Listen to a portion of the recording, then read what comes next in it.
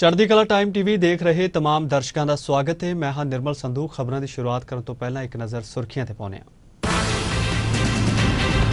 ਸਹਾਰਨਪੁਰ ਵਿਖੇ ਹਿੰਸਾ ਦਾ ਸ਼ਿਕਾਰ ਹੋਏ ਸਿੱਖਾਂ ਨੂੰ ਸ਼੍ਰੋਮਣੀ ਕਮੇਟੀ ਦੇਵੇਗੀ ਮਾਲੀ ਮਦਦ ਜਥੇਦਾਰ ਅਵਤਾਰ ਸਿੰਘ ਅਗਲੇ 2-3 ਦਿਨਾਂ ਤੱਕ ਕਰਨਗੇ ਸਹਾਰਨਪੁਰ ਦਾ ਦੌਰਾ ਪਠਾਨਕੋਟ ਵਿੱਚ ਇੱਕ ਆਟਾ ਚੱਕੀ ਦੇ ਮਾਲਕ ਨੇ ਆਪਣੇ ਹੀ ਮੁਲਾਜ਼ਮ ਦੀ ਪਤਨੀ ਦੀ ਇੱਜ਼ਤ ਨਾਲ ਖਿਲਵਾੜ ਕਰਨ ਦੀ ਕੀਤੀ ਕੋਸ਼ਿਸ਼ ਪੁਲਿਸ ਵੱਲੋਂ ਮਾਮਲਾ ਦਰਜ ਮੰਡੀ ਗੋਬਿੰਦਗੜ੍ਹ ਵਿਖੇ ਇੱਕ ਸਕੂਟਰ ਸਵਾਰ ਵਿਅਕਤੀ ਦੀ ਭਿਆਨਕ ਸੜਕ ਦੁਰਘਟਨਾ ਵਿੱਚ ਹੋਈ ਮੌਤ। ਸਕੂਟਰ ਦਾ ਟਾਇਰ ਫਿਸਲਣ ਕਰਕੇ ਤੇਜ਼ ਰਫ਼ਤਾਰ ਟਰੱਕ ਨੇ ਕੁਚਲਿਆ ਅਤੇ ਸਾਊਥਹੈਂਪਟਨ 'ਚ ਖੇਡੇ ਜਾ ਰਹੇ ਤੀਜੇ ਟੈਸਟ ਮੁਕਾਬਲੇ ਵਿੱਚ ਭਾਰਤ ਦੀ ਹੋਈ ਹਾਰ। 266 ਦੌੜਾਂ ਨਾਲ ਮਿਲੀ ਹਾਰ ਤੋਂ ਬਾਅਦ ਲੜੀ 1-1 ਨਾਲ ਹੋਈ ਬਰਾਬਰ। ਜੀ, ਬੁਲੇਟਿਨ ਦੀ ਤਫਸੀਲ ਤੇ ਸ਼ੁਰੂਆਤ ਕਰਦੇ ਹਾਂ ਸਹਾਰਨਪੁਰ ਦੇ ਨਾਲ ਜੁੜੀ ਖਬਰ ਤੋਂ। ਦੇਸ਼ ਦੀ ਆਜ਼ਾਦੀ ਤੋਂ ਬਾਅਦ ਪਹਿਲੀ ਵਾਰ ਸਹਾਰਨਪੁਰ ਵਿੱਚ ਸਿੱਖਾਂ ਤੇ ਮੁਸਲਮਾਨਾਂ ਦਰਮਿਆਨ ਹੋਇਆ ਆਪਸੀ ਟਕਰਾਅ, ਇੱਕ ਬੇਹੱਦ ਮੰਦਭਾਗੀ ਘਟਨਾ ਹੈ, ਜਿਸ ਦੀ ਜਾਂਚ ਤੁਰੰਤ ਯੂਪੀ ਸਰਕਾਰ ਨੂੰ ਪੂਰੀ ਨਿਰਪੱਖਤਾ ਦੇ ਨਾਲ ਕਰਵਾ ਕੇ ਮੁਲਜ਼ਮ ਅਨਸਰਾਂ ਦੇ ਖਿਲਾਫ ਸਖਤ ਕਾਨੂੰਨੀ ਕਾਰਵਾਈ ਕਰਨੀ ਚਾਹੀਦੀ ਹੈ। ਐਸਜੀਪੀਸੀ ਪ੍ਰਧਾਨ ਜਥੇਦਾਰ ਅਵਤਾਰ ਸਿੰਘ ਨੇ ਕੱਲ ਆਪਣੇ ਗ੍ਰਹਿ ਵਿਖੇ ਸਹਾਰਨਪੁਰ ਤੋਂ ਆਏ ਪ੍ਰਮੁੱਖ ਸਿੱਖ ਆਗੂਆਂ ਦੇ ਵਫਦ ਦੇ ਨਾਲ ਗੱਲਬਾਤ ਕਰਨ ਮਗਰੋਂ ਕਿਹਾ ਕਿ ਸ਼੍ਰੋਮਣੀ ਕਮੇਟੀ ਸਹਾਰਨਪੁਰ ਦੇ ਸਿੱਖਾਂ ਦੇ ਨਾਲ ਪੂਰੀ ਤਨਦੇਹੀ ਦੇ ਨਾਲ ਖੜੀ ਹੈ ਅਤੇ ਛੇਤੀ ਹੀ ਉਹ ਆਪਣੇ ਵਫਦ ਦੇ ਨਾਲ ਸਹਾਰਨਪੁਰ ਵਿੱਚ ਜਾ ਕੇ ਸਥਿਤੀ ਦਾ ਜਾਇਜ਼ਾ ਲੈਣਗੇ ਅਤੇ ਉਹਨਾਂ ਦੀ ਮਾਲੀ ਮਦਦ ਵੀ ਕੀਤੀ ਜਾਏਗੀ।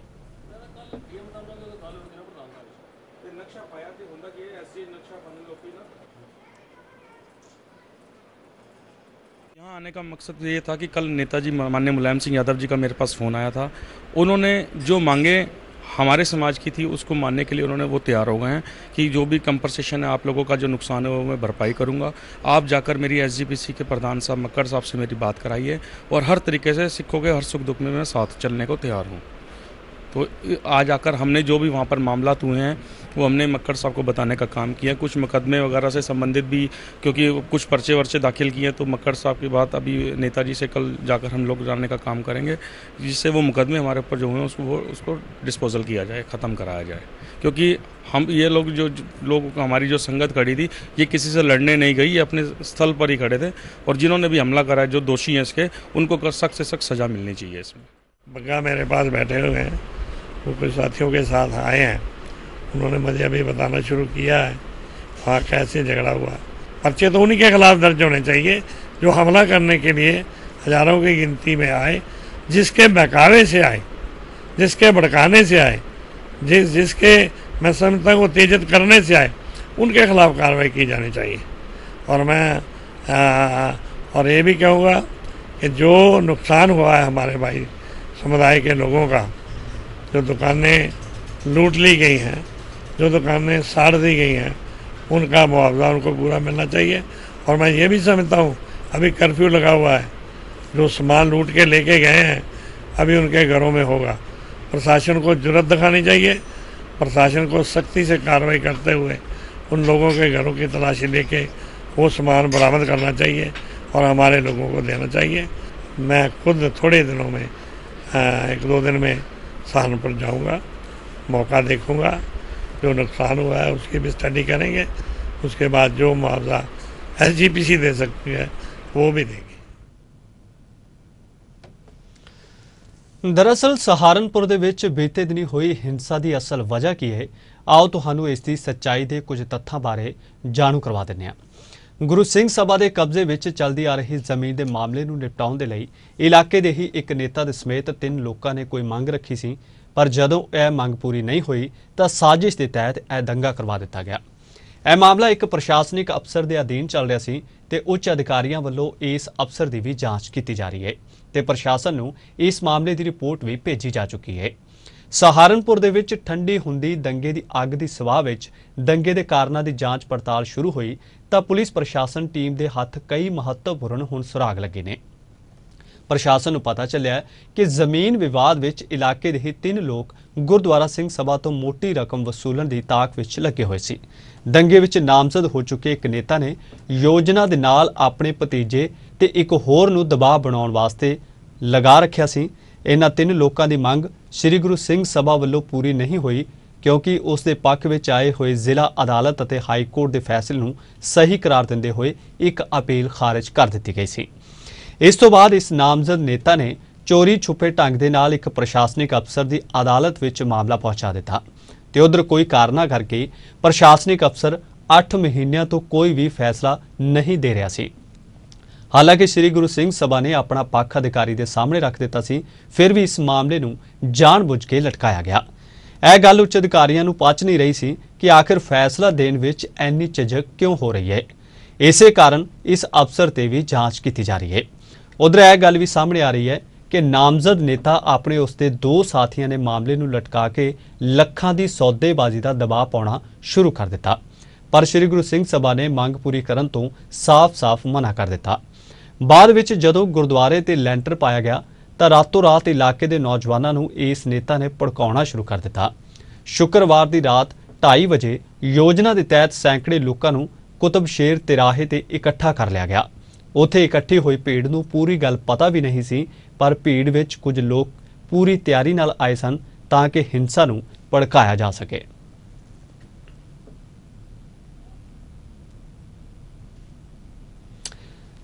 ਤੇ ਖਬਰ ਹੈ ਪਠਾਨਕੋਟ ਤੋਂ, ਜਿੱਥੇ ਇੱਕ ਮਾਲਕ ਵੱਲੋਂ ਆਪਣੀ ਹੀ ਮੁਲਾਜ਼ਮ ਦੀ ਪਤਨੀ ਦੇ ਨਾਲ ਦੁਸ਼ਕਰਮ ਕਰਨ ਦਾ ਮਾਮਲਾ ਸਾਹਮਣੇ ਆਇਆ ਹੈ।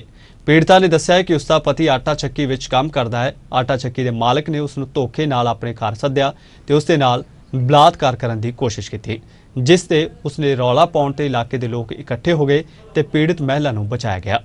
ਪੀੜਤਾ ਨੂੰ ਇਨਸਾਫ ਦਿਵਾਉਣ ਦੇ ਲਈ ਇਲਾਕੇ ਦੇ ਲੋਕਾਂ ਨੇ ਪੁਲਿਸ ਕੋਲ ਸ਼ਿਕਾਇਤ ਕਰ ਦਿੱਤੀ ਜਿਸ ਤੇ ਪੁਲਿਸ ਵੱਲੋਂ ਮੁਲਜ਼ਮ ਦੇ ਖਿਲਾਫ ਮਾਮਲਾ ਦਰਜ ਕਰਕੇ ਅਗਲੀ ਕਾਰਵਾਈ ਕੀਤੀ ਜਾ ਰਹੀ ਹੈ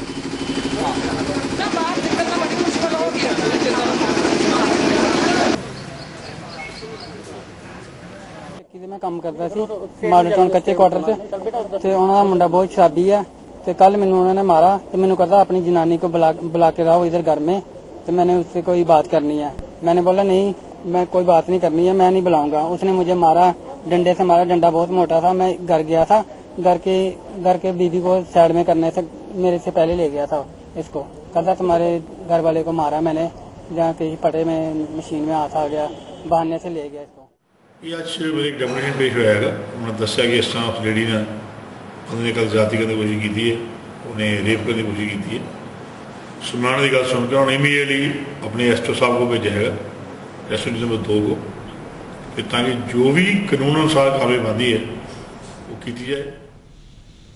ਪੰਜਾਬ ਦੇ ਵਿੱਚ ਵੱਧ ਰਹੀਆਂ ਅਪਰਾਧਿਕ ਵਾਰਦਾਤਾਂ ਵਿੱਚ ਲਗਾਤਾਰ ਇਜ਼ਾਫਾ ਹੁੰਦਾ ਜਾ ਰਿਹਾ ਹੈ ਤੇ ਹੁਣ ਤਾਜ਼ਾ ਮਾਮਲਾ ਦਸੂਹਾ ਦਾ ਹੈ, ਜਿੱਥੇ ਚੋਰਾਂ ਨੇ ਇੱਕ ਗੈਸ ਏਜੰਸੀ ਨੂੰ ਆਪਣਾ ਨਿਸ਼ਾਨਾ ਬਣਾਉਣ ਦੀ ਕੋਸ਼ਿਸ਼ ਕੀਤੀ। ਦੱਸਿਆ ਜਾ ਰਿਹਾ ਹੈ ਕਿ ਘਟਨਾ ਨੂੰ ਦੇਰ ਰਾਤ ਅੰਜਾਮ ਦਿੱਤਾ ਗਿਆ। ਜਦੋਂ ਚੋਰਾਂ ਵੱਲੋਂ ਗੈਸ ਏਜੰਸੀ ਵਿੱਚ ਲੱਗੇ ਸੀਸੀਟੀਵੀ ਕੈਮਰਿਆਂ ਨੂੰ ਵੀ ਤੋੜਿਆ ਗਿਆ, ਹੋਰ ਤਾਂ ਹੋਰ ਏਜੰਸੀ ਵਿੱਚ ਪਈ ਕੀਮਤੀ ਰਿਕਾਰਡ ਨੂੰ ਵੀ ਪੂਰੀ ਤਰ੍ਹਾਂ ਖੁਰਦ-ਬੁਰਦ ਕਰ ਦਿੱਤਾ ਗਿਆ। ਤੇ ਉਧਰ ਜਦੋਂ ਪੱਤਰਕਾਰਾਂ ਨੇ ਇਸ ਬਾਰੇ ਪੁਲਿਸ ਦੇ ਨਾਲ ਗੱਲਬਾਤ ਕੀਤੀ ਤਾਂ ਪੁਲਿਸ ਵੱਲੋਂ ਕੋਈ ਵੀ ਠੋਸ ਜਵਾਬ ਨਹੀਂ ਮਿਲਿਆ।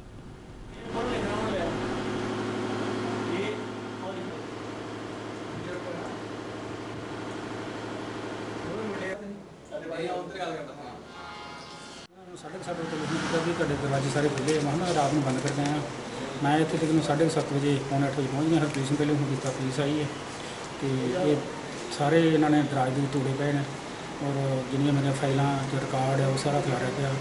ਈਵਨ ਇੱਕ ਹਾਰਡ ਡਿਸਕ ਮੇਰੇ ਲਈ ਜਿਹੜੀ ਸੀ ਕੰਪਿਊਟਰ ਦੀ ਉਹ ਕੱਢ ਕੇ ਵਿੱਚੋਂ ਲੈ ਗਏ ਨੇ। ਇੱਕ ਹਾਰਡ ਡਿਸਕ ਮੇਰਾ ਬੈਕਅਪ ਪਿਆ ਸੀ ਉਹ ਵਿੱਚੋਂ ਕੱਢ ਕੇ ਲੈ ਗਏ ਨੇ ਵਿੱਚੋਂ। ਤੇ ਕੁਝ ਸ਼ਰਾਬ ਦੀਆਂ ਬੋਤਲਾਂ ਕੱਢੀਆਂ ਸੀ ਇੱਕ ਪੇਟੀ ਮੇਰੀ। ਉਹ ਦੋ ਬੋਤਲਾਂ ਛੱਡ ਕੇ ਬਾਕੀ ਉਹ ਲੈ ਕੇ ਦੋ ਤਿੰਨ ਬੋਤਲਾਂ ਤੋੜ ਗਏ ਨੇ। ਤੇ ਰਿਕਾਰਡ ਜਿਹੜਾ ਹੈ ਉਹ ਹੁਣ ਆਸਤਾ ਆਸਤਾ ਪਤਾ ਲੱਗੂਗਾ ਵੀ ਰਿਕਾਰਡ ਦੇ ਵਿੱਚ ਕੀ ਕੀ ਹੈ।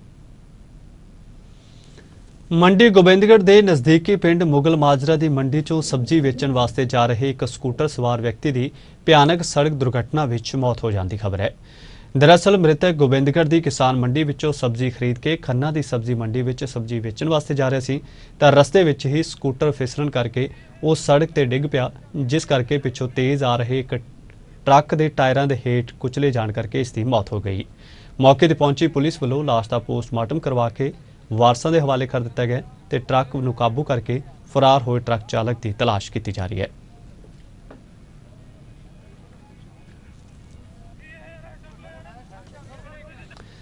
ਤੇ ਖਬਰ ਪਟਿਆਲਾ ਤੋਂ ਹੈ, ਜਿੱਥੇ ਵਿਧਾਨ ਸਭਾ ਹਲਕੇ ਤੋਂ ਜ਼ਿਮਨੀ ਚੋਣ ਲੜ ਰਹੇ ਭਗਵਾਨ ਦਾਸ ਜੁਨੇਜਾ ਨੇ ਕੱਲ ਆਪਣਾ ਨਾਮਜ਼ਦਗੀ ਪੱਤਰ ਦਾਖਲ ਕਰ ਦਿੱਤਾ ਹੈ। ਇਸ ਮੌਕੇ ਅਕਾਲੀ ਦਲ ਪ੍ਰਧਾਨ ਤੇ ਉਪ ਮੁੱਖ ਮੰਤਰੀ ਸੁਖਬੀਰ ਸਿੰਘ ਬਾਦਲ ਸਮੇਤ ਵੱਡੀ ਗਿਣਤੀ ਵਿੱਚ ਅਕਾਲੀ ਭਾਜਪਾ ਆਗੂ ਤੇ ਵਰਕਰ ਮੌਜੂਦ ਰਹੇ। ਨਾਮਜ਼ਦਗੀ ਦਾਖਲ ਕਰਨ ਮਗਰੋਂ ਸੁਖਬੀਰ ਬਾਦਲ ਨੇ ਸ਼ਹਿਰ ਵਿੱਚ ਰੱਖੀ ਗਈ ਇੱਕ ਚੋਣ ਰੈਲੀ ਨੂੰ ਵੀ ਸੰਬੋਧਨ ਕੀਤਾ, ਜਿਸ ਦੌਰਾਨ ਉਹਨਾਂ ਵਿਕਾਸ ਦੇ ਮੁੱਦੇ ਤੇ ਚੋਣ ਲੜ ਕੇ ਜਿੱਤ ਦਾ ਦਾਅਵਾ ਕੀਤਾ ਹੈ। ਉਹਨਾਂ ਕਿਹਾ ਕਿ ਭਗਵਾਨ ਦਾਸ ਇੱਕ ਸੁਲਝੇ ਹੋਏ ਸਮਾਜ ਸੇਵੀ ਨੇ, ਜਿਨ੍ਹਾਂ ਨੇ ਸਮਾਜ ਵਾਸਤੇ ਕਈ ਅਗਾਂਹ ਵੱਧ ਕੇ ਕੰਮ ਕੀਤੇ ਨੇ, ਜਿਸ ਕਾਰਨ ਲੋਕ ਉਹਨਾਂ ਦੀਆਂ ਸੇਵਾਵਾਂ ਨੂੰ ਦੇਖਦੇ ਹੋਏ ਵੋਟ ਪਾਉਣਗੇ। ਉਧਰ ਦੂਜੇ ਪਾਸੇ ਉਹਨਾਂ ਦੇ ਖਿਲਾਫ ਕਾਂਗਰਸ ਵੱਲੋਂ ਮਹਾਰਾਣੀ ਪਰਨੀਤ ਕੌਰ ਚੋਣ ਮੈਦਾਨ ਵਿੱਚ ਨੇ। ਇਹ ਸੀਟ ਕੈਪਟਨ ਅਮਰਿੰਦਰ ਸਿੰਘ ਦੇ ਸਾਂਸਦ ਬਣ ਜਾਣ ਤੋਂ ਬਾਅਦ ਖਾਲੀ ਹੋਈ ਸੀ।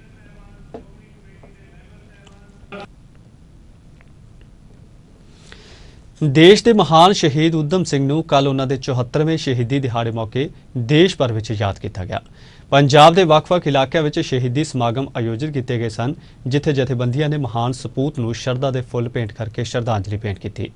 ਪਟਿਆਲਾ ਦੇ ਰਾਜਪੁਰਾ ਵਿੱਚ ਵੀ ਸਾਂਸਦ ਧਰਮਵੀਰ ਗਾਂਧੀ ਨੇ ਸ਼ਹੀਦ ਉਦਮ ਸਿੰਘ ਦੇ ਬੁੱਤ ਉੱਪਰ ਫੁੱਲ ਚੜਾ ਕੇ ਸ਼ਰਧਾਂਜਲੀ ਦਿੱਤੀ। ਉਹਨਾਂ ਸਾਰੇ ਦੇਸ਼ ਵਾਸੀਆਂ ਨੂੰ ਅਪੀਲ ਕੀਤੀ ਕਿ ਸ਼ਹੀਦਾਂ ਨੂੰ ਤੇ ਉਹਨਾਂ ਦੀਆਂ ਕੁਰਬਾਨੀਆਂ ਨੂੰ ਭੁੱਲਣਾ ਨਹੀਂ ਚਾਹੀਦਾ। ਦੱਸ ਦਈਏ ਕਿ ਸ਼ਹੀਦ ਉਦਮ ਸਿੰਘ ਦੇਸ਼ ਦੇ ਉਹ ਮਹਾਨ ਸਪੂਤ ਸਨ ਜਿਨ੍ਹਾਂ ਨੇ ਜ਼ਿਲ੍ਹਿਆਂਵਾਲੇ ਬਾਗ 1919 ਵਿੱਚ ਹੋਏ ਘਟਨਾਕ੍ਰਮ ਦਾ ਜਰਨਲ ਅਡਵਾਇਰ ਨੂੰ ਇੰਗਲੈਂਡ ਵਿੱਚ ਜਾ ਕੇ ਗੋਲੀ ਮਾਰ ਕੇ ਬਦਲਾ ਲਿਆ ਸੀ। ਮੁਲਕ ਦੀ ਆਜ਼ਾਦੀ 'ਚ ਯੋਗਦਾਨ ਪਾਇਆ ਹੈਗਾ। ਉਹਨੂੰ ਯਾਦ ਕਰਨ ਵਾਸਤੇ, ਉਹਨਾਂ ਪ੍ਰਤੀ ਨਤਮਸਤਕ ਹੋਣ ਵਾਸਤੇ ਮੈਂ ਇੱਥੇ ਆਇਆ ਹੈਗਾ। ਪਟਿਆਲਾ ਇਕਾਈ ਵੱਲੋਂ ਇਹ ਪ੍ਰੋਗਰਾਮ ਰੱਖਿਆ ਗਿਆ ਹੈਗਾ ਹਰ ਸਾਲ ਇਹ ਪ੍ਰੋਗਰਾਮ ਕੀਤਾ ਜਾਂਦਾ ਹੈਗਾ ਤੇ ਅਸੀਂ ਵੀ ਆਪਣੀ ਪਾਰਟੀ ਵੱਲੋਂ ਇਸ ਸਾਲ ਇਹ ਪ੍ਰੋਗਰਾਮ ਪਟਿਆਲੇ ਵੀ ਕਰ ਰਹੇ ਹਾਂ, ਇੱਥੇ ਵੀ ਕਰ ਰਹੇ ਹਾਂ ਤੇ ਹੋਰ ਅਲੱਗ-ਅਲੱਗ ਥਾਵਾਂ ਤੇ ਕਰ ਰਹੇ ਹਾਂ ਤਾਂ ਕਿ ਸ਼ਹੀਦਾਂ ਨੂੰ ਜਿਹੜਾ ਉਹਨਾਂ ਦਾ ਬਣਦਾ ਹੱਕ ਹੈਗਾ, ਆਜ਼ਾਦੀ ਸੰਗਰਾਮ ਵਿੱਚ। ਉਹਦਾ ਉਹ ਜੋ ਮਾਨ ਸਤਿਕਾਰ ਹੈ ਉਹ ਦਿੱਤਾ ਜਾ ਸਕੇ। ਭਾਰਤ ਦੇ ਰਾਸ਼ਟਰਪਤੀ ਵੱਲੋਂ ਚੜ੍ਹਦੀ ਕਲਾ ਟਾਈਮ ਟੀਵੀ ਦੇ ਚੇਅਰਮੈਨ ਸਰਦਾਰ ਜਗਜੀਤ ਸਿੰਘ ਦਰਦੀ ਨੂੰ ਰਾਜ ਸਭਾ ਦੇ ਵਿੱਚ ਐਡਵਾਈਜ਼ਰੀ ਕਮੇਟੀ ਦਾ ਮੈਂਬਰ ਬਣਾਏ ਜਾਣ ਕਰਕੇ ਉਹ ਕੱਲ ਸ੍ਰੀ ਹਰਮੰਦਰ ਸਾਹਿਬ ਵਿਖੇ ਪਰਮਾਤਮਾ ਦਾ ਸ਼ੁਕਰਾਨਾ ਕਰਨ ਦੇ ਲਈ ਨਤਮਸਤਕ ਹੋਏ। ਇਸੇ ਦੌਰਾਨ ਸੂਚਨਾ ਕੇਂਦਰ ਵਿੱਚ ਸੂਚਨਾ ਅਧਿਕਾਰੀਆਂ ਜਸਵਿੰਦਰ ਸਿੰਘ ਤੇ ਹਰਪ੍ਰੀਤ ਸਿੰਘ ਨੇ ਸਿਰੇ ਪਾਉ ਦੇ ਕੇ ਉਹਨਾਂ ਨੂੰ ਖਾਸ ਤੌਰ ਤੇ ਸਨਮਾਨਿਤ ਕੀਤਾ। ਇਸ ਦੌਰਾਨ ਖੰਨਾ ਤੋਂ ਚੜ੍ਹਦੀ ਕਲਾ ਟਾਈਮ ਟੀਵੀ ਦੇ ਪੱਤਰਕਾਰ ਆਰ ਕੇ ਮੈਨਰੋ ਅਤੇ ਹੋਰ ਅੰਮ੍ਰਿਤਸਰ ਤੋਂ ਚੜ੍ਹਦੀ ਕਲਾ ਟਾਈਮ ਟੀਵੀ ਦੇ ਪੱਤਰਕਾਰ ਧਰਮਵੀਰ ਗਿੱਲ ਸਮੇਤ ਹੋਰ ਵੀ ਵੱਖ-ਵੱਖ ਸ਼ਖਸੀਅਤਾਂ ਉਹਨਾਂ ਦੇ ਨਾਲ ਮੌਜੂਦ ਰਹੀਆਂ।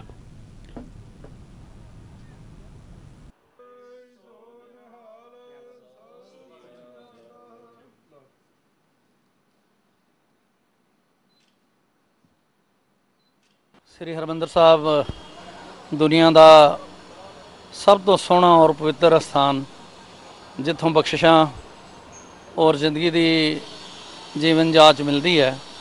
ਇੱਥੇ ਆਉਣ ਵਾਲੇ ਹਰ ਪ੍ਰਾਣੀ ਨੂੰ, ਹਰ ਸ਼ਰਧਾਲੂ ਨੂੰ ਗੁਰੂ ਘਰ ਵਿੱਚੋਂ ਰਹਿਮਤਾਂ, ਬਖਸ਼ਿਸ਼ਾਂ, ਦੁੱਖਾਂ ਦਾ ਨਾਸ ਅਤੇ ਸੁੱਖਾਂ ਦੀ ਪ੍ਰਾਪਤੀ ਹੁੰਦੀ ਹੈ।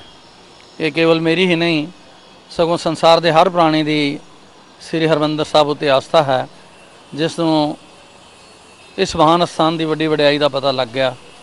ਗੁਰੂ ਨਾਨਕ ਦੇ ਦਰੋਂ ਘਰੋਂ ਉਹਨਾਂ ਦੀ ਗੱਦੀ ਉੱਤੇ ਬੈਠੇ ਹੋਏ ਚੌਥੇ ਵਾਰਿਸ ਸ੍ਰੀ ਗੁਰੂ ਰਾਮਦਾਸ ਪਾਤਸ਼ਾਹ ਨੇ ਵਾਹਿਗੁਰੂ ਪ੍ਰਭੂ ਪਰਮਾਤਮਾ ਨੇ ਆਪ ਕੀਤੀ ਸੀ।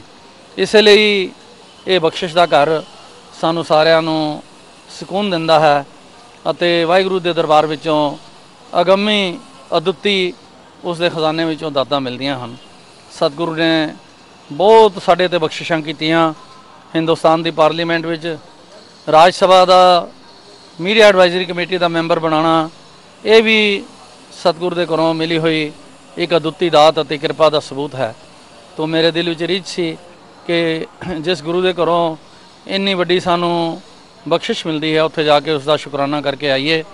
ਮੈਨੂੰ ਇਸ ਗੱਲ ਦੀ ਖੁਸ਼ੀ ਹੈ ਕਿ ਚੜ੍ਹਦੀ ਕਲਾ ਅਦਾਰਾ ਦਾ ਸਾਰਾ ਸਟਾਫ ਇੱਥੇ ਭਾਵੇਂ ਧਰਮਵੀਰ ਜੀ ਹਨ, ਭਾਵੇਂ ਗੁਰਦਿਆਲ ਸਿੰਘ ਹਨ, ਜੋ ਕੰਮ ਕੀਤਾ ਹੈ, ਉਸ ਉੱਤੇ ਵੀ ਸਾਨੂੰ ਮਾਣ ਅਤੇ ਫਖਰ ਹਾਸਲ ਹੈ। ਉਹ ਵੀ ਮੇਰੇ ਨਾਲ ਆਏ ਹਨ ਸਾਡਾ ਸਾਰਾ ਸਟਾਫ। ਮੈਂ ਖੁਸ਼ ਹਾਂ ਕਿ ਬਬਲੂ ਜੀ ਮਹਾਜਨ ਜੀ ਤੇ ਸਾਰੇ ਇਹਨਾਂ ਦੇ ਸਾਥੀ ਜੋ ਚੜ੍ਹਦੀ ਕਲਾ ਅਖਬਾਰ ਲਈ, ਚੜ੍ਹਦੀ ਕਲਾ ਟਾਈਮ ਟੀਵੀ ਲਈ ਕੰਮ ਕਰਦੇ ਹਨ, ਉਹਨਾਂ ਦੇ ਮਨ ਦੇ ਵਿੱਚ ਵੀ ਬੜਾ ਸਿਦਕ ਅਤੇ ਸ਼ਰਧਾ ਹੈ। ਸ੍ਰੀ ਹਰਮੰਦਰ ਸਾਹਿਬ ਵਾਸਤੇ ਅੱਜ ਜਦੋਂ ਇੱਥੇ ਇੱਥੇ ਨਤਮਸਤਕ ਹੋਏ ਤਾਂ ਸਾਨੂੰ ਅਗੰਮੀ ਖੁਸ਼ੀ ਮਿਲੀ, ਜਿਸ ਦਾ ਮੈਂ ਕੋਟਾਨ ਕੋਟਾਨ ਕੋਟ ਅਕਾਲ ਪੁਰਖ ਦਾ ਧੰਨਵਾਦ ਅਤੇ ਸ਼ੁਕਰਾਨਾ ਕਰਦਾ ਹਾਂ। ਵਾਹਿਗੁਰੂ ਜੀ ਕਾ ਖਾਲਸਾ, ਵਾਹਿਗੁਰੂ ਜੀ ਕੀ ਫਤਿਹ। ਪੰਜਾਬ ਨੂੰ ਨਸ਼ਾ ਮੁਕਤ ਕਰਨ ਦੇ ਉਦੇਸ਼ ਨਾਲ ਫਤਿਹਗੜ੍ਹ ਸਾਹਿਬ ਪੁਲਿਸ ਵੱਲੋਂ ਇੱਕ ਨਸ਼ਾ ਵਿਰੋਧੀ ਸੈਮੀਨਾਰ ਲਗਾਇਆ ਗਿਆ ਹੈ। ਇਸ ਮੌਕੇ ਐਸਐਸਪੀ ਗੁਰਮੀਤ ਸਿੰਘ ਚੌਹਾਨ ਖਾਸ ਤੌਰ ਤੇ ਪਹੁੰਚੇ ਸਨ। ਸੈਮੀਨਾਰ ਵਿੱਚ ਨਸ਼ਿਆਂ ਦੇ ਖਿਲਾਫ ਇੱਕ ਨਾਟਕ ਵੀ ਖੇਡਿਆ ਗਿਆ, ਜਿਸ ਵਿੱਚ ਸੂਬੇ ਦੇ ਨਸ਼ਿਆਂ ਦੇ ਬੁਰੇ ਪ੍ਰਭਾਵਾਂ ਬਾਰੇ ਸੰਦੇਸ਼ ਦੇਣ ਦੀ ਕੋਸ਼ਿਸ਼ ਕੀਤੀ ਗਈ।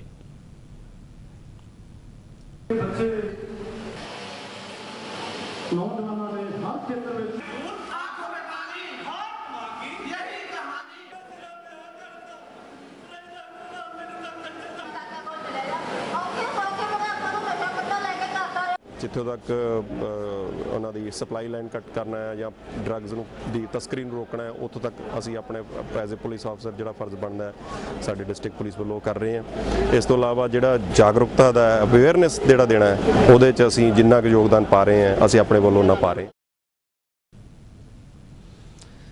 ਪਟਿਆਲਾ ਦੇ ਸਨੌਰ ਦੀ ਰਹਿਣ ਵਾਲੀ ਇੱਕ 42 ਸਾਲਾ ਮਨਜੀਤ ਕੌਰ ਪਿਛਲੀ 22 ਜੁਲਾਈ ਤੋਂ ਲਾਪਤਾ ਹੈ, ਜਿਸ ਦੇ ਪਰਿਵਾਰ ਵੱਲੋਂ ਉਸ ਦੀ ਬੜੀ ਬੇਸਬਰੀ ਦੇ ਨਾਲ ਤਲਾਸ਼ ਕੀਤੀ ਜਾ ਰਹੀ ਹੈ। ਮਨਜੀਤ ਕੌਰ ਨੂੰ ਅਧਰੰਗ ਦੀ ਬਿਮਾਰੀ ਨਾਲ ਪੀੜਤ ਹੈ ਅਤੇ ਜੋ ਪੈਦਲ ਚੱਲਣ ਤੋਂ ਵੀ ਅਸਮਰੱਥ ਹੈ ਅਤੇ ਦਿਮਾਗੀ ਤੌਰ ਤੇ ਵੀ ਪੂਰੀ ਤਰ੍ਹਾਂ ਤੰਦਰੁਸਤ ਨਹੀਂ ਹੈ। ਮਨਜੀਤ ਕੌਰ 22 ਜੁਲਾਈ ਨੂੰ ਸਨੌਰ ਤੋਂ ਪਟਿਆਲਾ ਆਈ ਸੀ, ਜਿਸ ਤੋਂ ਬਾਅਦ ਉਹ ਵਾਪਸ ਘਰ ਨਹੀਂ ਪਰਤੀ। ਉਸਨੇ ਹਰੇ ਰੰਗ ਦੇ ਕੱਪੜੇ ਪਾਏ ਹੋਏ ਨੇ। ਜੇਕਰ ਤੁਹਾਡੇ ਕੋਲ ਮਨਜੀਤ ਕੌਰ ਬਾਰੇ ਕਿਸੇ ਵੀ ਕਿਸਮ ਦੀ ਕੋਈ ਜਾਣਕਾਰੀ ਹੈ, ਤਾਂ ਤੁਸੀਂ ਸਰਦੂਲ ਸਿੰਘ ਚੁਜਾਰ ਨਗਰ, ਸਨੌਰ ਰੋਡ, ਪਟਿਆਲਾ ਜਾਂ ਫਿਰ 97801 25993 9780 64655 ਨੰਬਰਾਂ ਤੇ ਸੰਪਰਕ ਕਰ ਸਕਦੇ ਹੋ।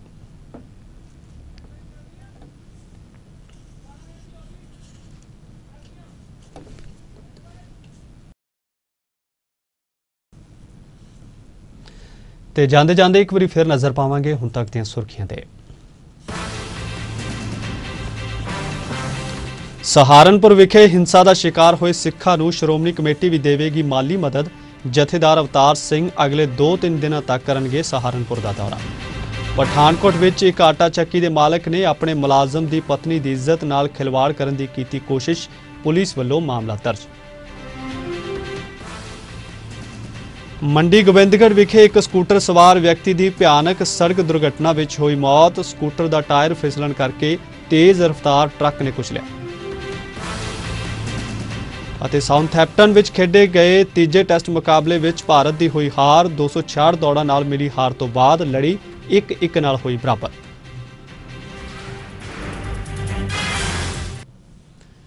ਸੋ ਇਸ ਬੁਲੇਟਿਨ ਵਿੱਚ ਫਿਲਹਾਲ ਇੰਨਾ ਹੀ। ਕੁਝ ਹੋਰ ਖਬਰਾਂ ਦੇ ਨਾਲ ਫਿਰ ਮਿਲਾਂਗੇ। ਤਦ ਤੱਕ ਲਈ ਇਜਾਜ਼ਤ ਦਿਓ।